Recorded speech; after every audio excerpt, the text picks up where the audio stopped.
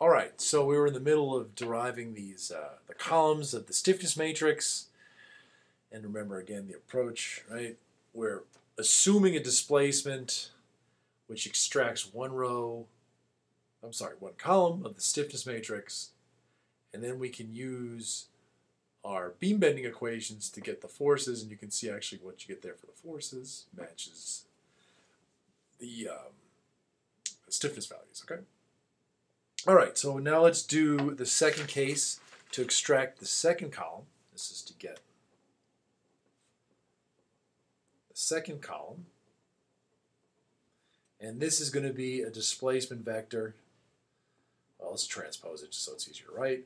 Of 0, 1, 0, 0.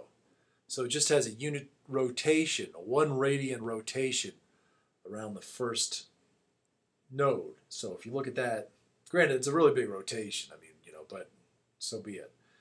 Uh, it's good enough for the derivation. So this node rotates at one radian and then comes back down and is fully fixed at this point. Right, so this is what we got. All right, and again, we have a force and a moment here, and then also a force and a moment here. So when I put this in and multiply by the stiffness matrix, I just extract the second row, which is the K1, 2, K2, 2, K3, 2, and K4, 2. And so that equals the right-hand side, which is F1, M1, F2, M2. All right? So in this case, this is F1, is just K1, 2. M1 is K 2 2, F2 is K 3 2, and M2 is K 4 2. Those are the moments at that node. All right, we can still do sum of forces, so that gives us the sum of force equation, K1, 2 plus K3, 2. that has to equal 0. Sum of moments around A, so that gives us K2, 2 plus K42 plus the force k32 3 2 times its moment arm, which is the length. So we're doing sum of moments around this point A. And then we also know the kinematic conditions. This is equal to 0. We know that um, uh, the displacement here has to be 0. So this is sum of forces, sum of moments around point A. And then we can do also that the displacement at x equals 0 has to equal to 0 uh, going back to the equations we had before, so we got, we're going to use this equation, all right, but we're going to put in different values for p and m. In this case, p is going to be k12, and m is going to be k22, all right? So we're going to get uh, k12 times L cubed over 3EI minus k22 times L squared over 2EI has to go to 0 now because the deflection is 0. And now we have the rotation at x equal to 0 goes to 1. And so that gives me minus k12 times L cubed over 3EI. Mm, and the next term is a plus, plus k 2, 2 times L over EI. That has to equal 1. All right? So those are the four equations. And now I'm going to solve those for K1, 2, K2, 2, K3, 2, and K4, 2. And again, I do that in Mathematica. Here's the four equations. We just solve them. So I don't screw up the algebra and make everyone go to sleep more than they are because of this. So this is kind of a long derivation. And so that gives us, just rewriting what I get here, you'll see it. This gives me that K12 is equal to 6EI on L squared. K22, this is the second column going down, is 4EI on L. K32 is going to be minus 6EI on L squared and then K42 is equal to 2EI on L. All right, that's the second column. Now we go and do the third column. I need some more paper. Okay, so let's do the third column. Now to get the third column, right?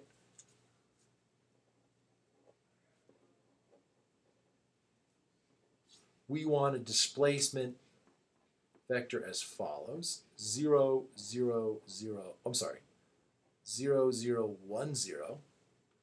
So we just have a unit displacement on the right side. So it's going to look like this. All right. So this displaces by 1. We know the rotations are 0. Now, again, we do the same arguments. We multiply through, and this allows us to get that the up force is going to be the K uh, 1, 3, K 2, 3, K 3, 3, K 4, 3. All right? And again, we do sum of forces in the Y. That gives me K1, 3 plus K3, 3 equals 0 sum of moments. Let's do sum of moments. Uh, let's do it so it's consistent. What did I do in Mathematica? I did uh, sum of moments. K3 3 times L. So I did sum of moments around A again.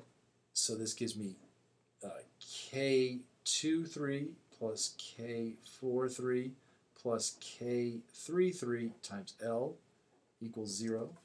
And we also know now that the deflection at L equals 1. All right? So now when I do this, since the beam is flipped, I have to go back and look at these equations, right? Which are almost the same. It's just some of the signs have changed, okay? So in this situation, fold this If we're doing this one, here you can see that P is going to be K33 and M is going to be K43. So I can directly write this. This is going to be K33L cubed on 3EI plus K43L squared on 2EI. That equals 1. And then the rotation at L equals 0. So that's this equation. But again, P is going to be K33 and M is going to be K43. So, okay, where are we? So I got uh, K 3, 3L squared on 2EI plus K 4, 3L on EI. And that has to go to 0, right? So those are my four equations. Again, we solve those for the four unknowns. That gives me K 1, 3 is equal to minus 12 EI on L cubed K 2, 3 is equal to minus 6 EI. Now we're getting a lot of these, we know it's symmetric, so a lot of these match up with the other ones, but at least it's good to see it check. You know, it definitely should be symmetric. K33 is 12 EI on L cubed, and then the K43 is minus 6 EI on L squared. All right? And then the last one we do is the fourth column. And to do the fourth column,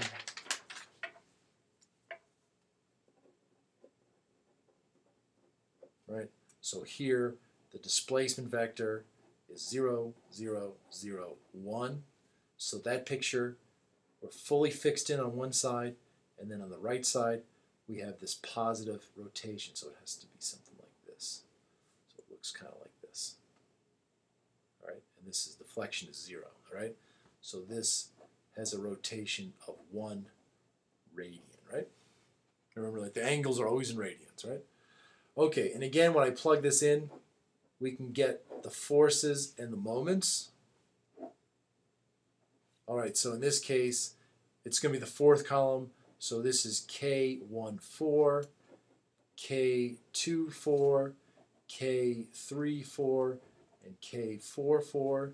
And now we go through the same equation, sum of forces in the y, K1, 4 plus K3, 4 have to equal 0. Sum of moments around A, K2, 4 plus K4, 4 plus K3, 4 times L has to equal 0. And now the deflection equals 0, right? So we do the deflection at L equals 0. That This is sum of moments around A equals 0, and this is sum of forces in the y direction equals 0. Okay, sum of moments, I'm sorry, deflection at point L is equal to 0 in this case. So that gives me um, K3, 4 L cubed on 3EI plus M is K4, 4 L squared on 2EI. That has to equal 0. And then finally, that the rotation at L equals unity. And so putting that into the theta equation, that gives me K3, 4 L squared on 2EI plus K4, 4 L on EI equals 1. And so now we solve for that. And again, I did that in Mathematica. Boom, there it is. Let's move it up. Right, here's the block here. That's the solution. And so that gives me, just to rewrite it, K14 is equal to 6EI on L squared. K24 is equal to 2EI on L.